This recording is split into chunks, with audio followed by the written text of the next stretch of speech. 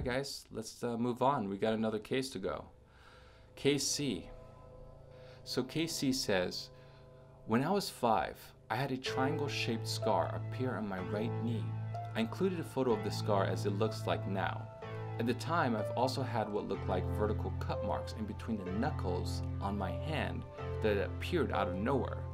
Yes, this past year it seemed to be very important to make me understand that the encounters were real.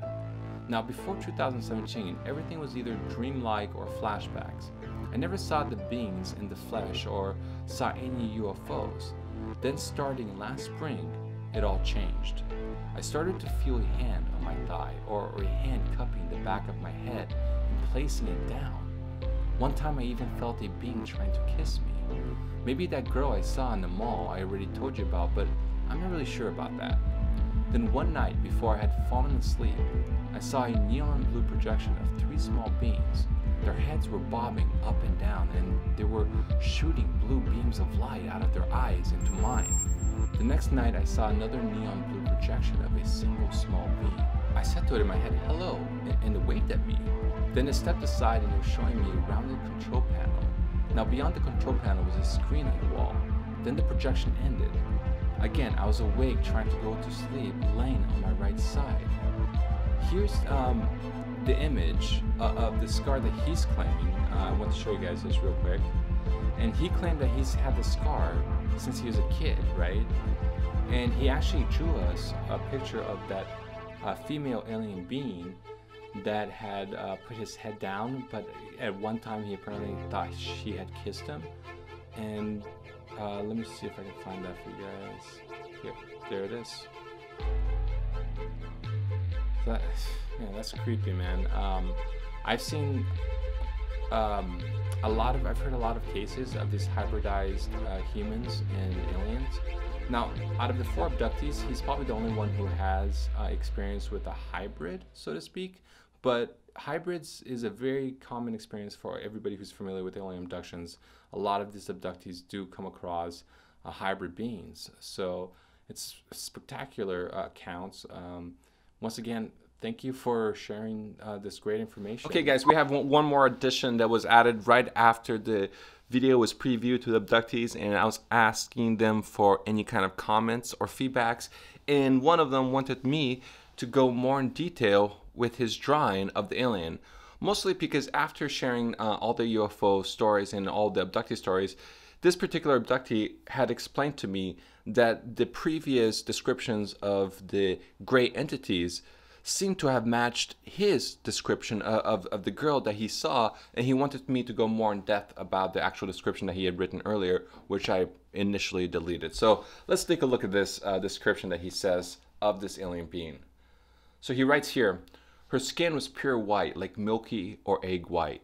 Her eyes were clear white with a small black pupil that was quickly darting back and forth as she was looking me over from my feet to my head. The eyes were different from what I remember from the flashbacks I had in the 90s. In those, the female had solid black eyes.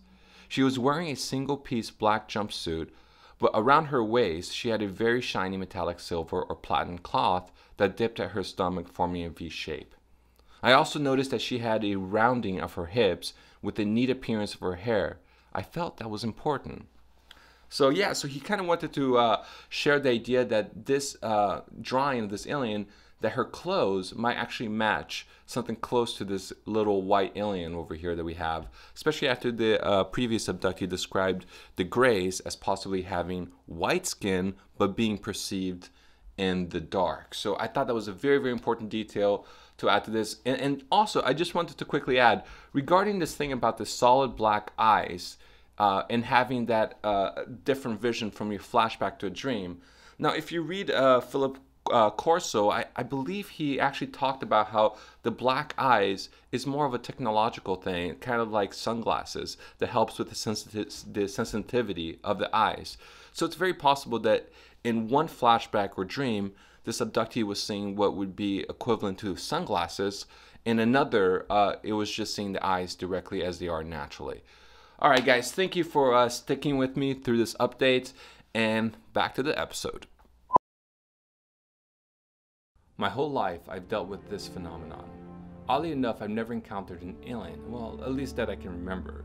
Bright flashes of light with missing time, being pulled through walls in a state of sleep, put back, seeing others around me in a state of sleep, men in blacks, seeing UFOs, showing people UFOs, and pretty much everything else but the actual aliens. Whatever part you'd like to know, I'll happily ramble about. I mean, I have no other outlet for this, and I've gotten 43 years of experiences. I've had shared physical experiences with unwilling participants around me. These days, I'm watching my children go through it. Yes, it is bloodline. I'm colorblind, but I can see like an owl at night. And during the day, I liken it to seeing to a higher spectrum. Like I, I can see crafts, and sometimes I can point them out and others can see them. But they're there every day, not following me or anything, just in different parts of the sky, especially around cities. Like if I go near Charlotte, North Carolina, they're just there.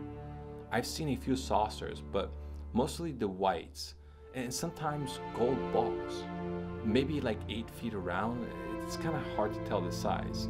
Now, occasionally, I'll see odd shapes, and, and they know when you look because they react by moving or just poof, gone.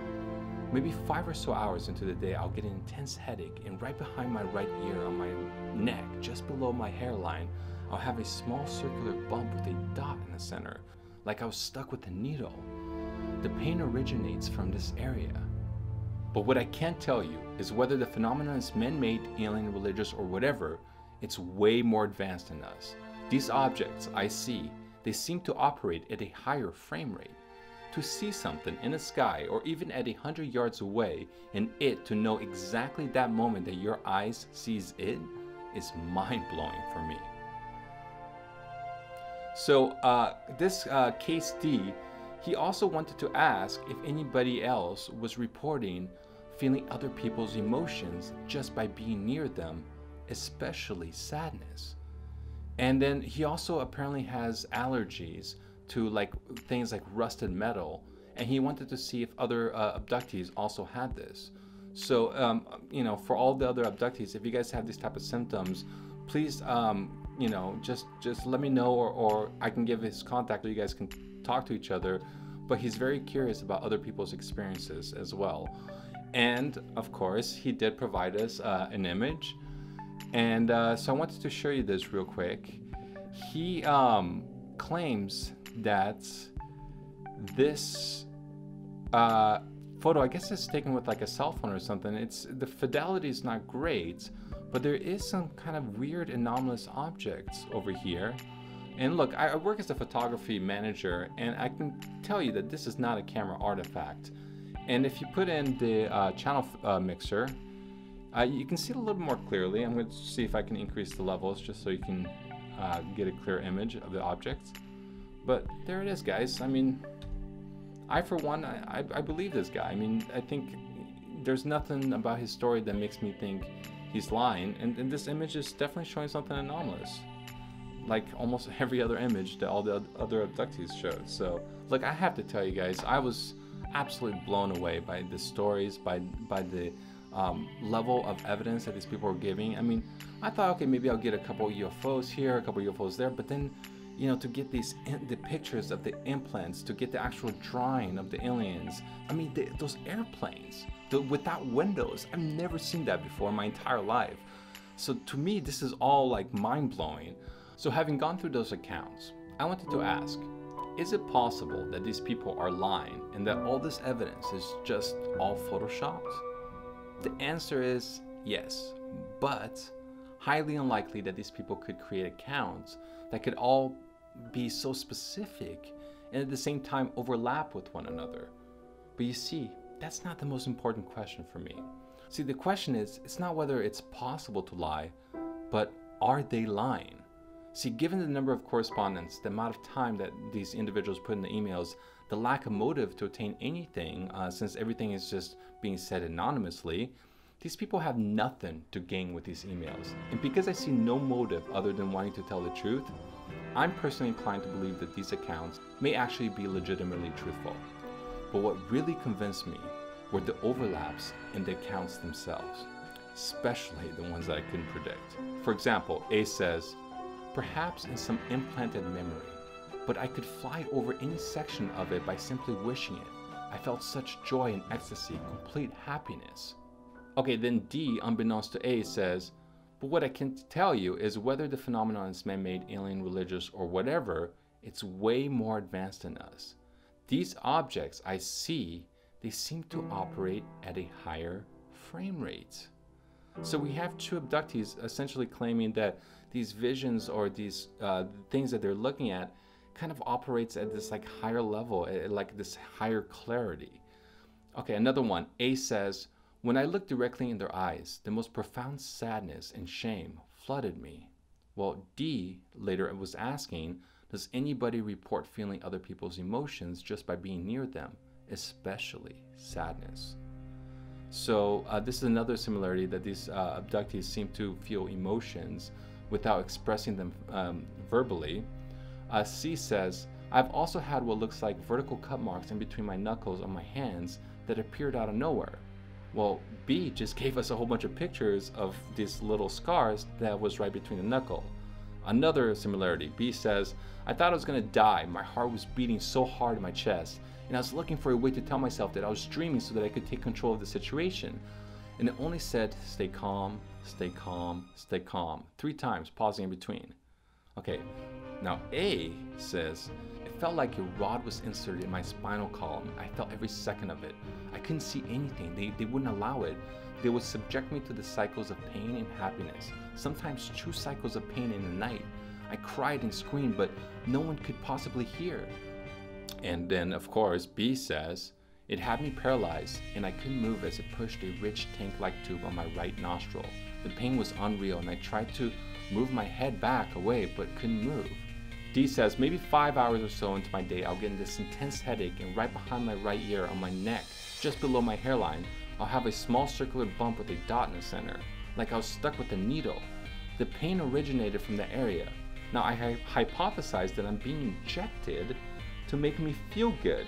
Then it wears off. Guys, this is exactly what A said about the injections.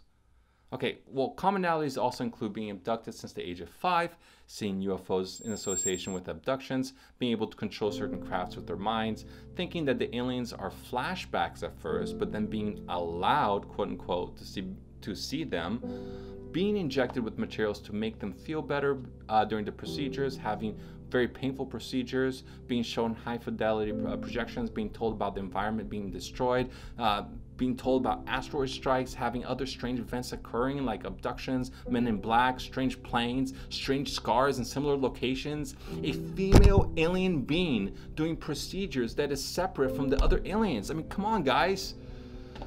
Let me tell you something. I can pretend that this could all be made up, but the truth is, you can't make this shit up, let alone have all these correlations and overlaps of stories from different accounts.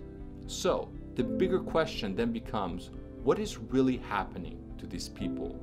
What do the aliens want? And what is their agenda? Look, I have a theory, but I'm going to wait till the next episode because this is really just about the case studies of the actual abductees. And uh, given that they, these abductees have the first hand experience, I wanted to ask them personally what do you guys think the alien agenda is? Either way, I can say it's safe to conclude that the ones doing the experiments, they're not going to be giving away their secrets. So this question is it's going to have to be looked at in an investigative way.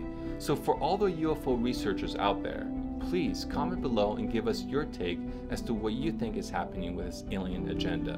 Now to end this segment, I wanted to leave you guys with a passage from Abductee A. I had a very vivid dream, or, or a type of downloaded message. In this dream, I was walking to the convenience store. It was humid and, and overcast, dark clouds. For whatever reason, I noticed a duck walking several feet in front of me. And I thought, yeah, sure, you know, I'll follow it, see what kind of species it is. I rounded a building with a large pond behind it. 30 feet in the air was a very large saucer type craft. I wasn't surprised. I could hear this low hum, this very distinct, and feel the ionizing energy flux on the skin of my arms. It felt so real, and in my head, I see it clearly still. Above it, ducks and geeses of all kinds just flying in the same direction. And then I heard a voice in my head. When you see the waterfowl flying like streams, follow them to safety. You may tell your friends. Then the craft quickly shot up and. So, guys, make sure to tell your friends. And also, uh, regarding this remote viewing session, we do have a new envelope. Um, uh, I just I get this feeling that given uh, how deep this episode is, that people are going to be more concerned about the alien agenda than what's inside this envelope. But if you guys do want to play, uh, just make sure you put RV colon and your predictions for the next episode. Uh, for those who are new uh, to the episode, I will be leaving a subscription button above. And uh, once again, uh, thanks for joining me, guys. This is Felipe Osorio, signing out.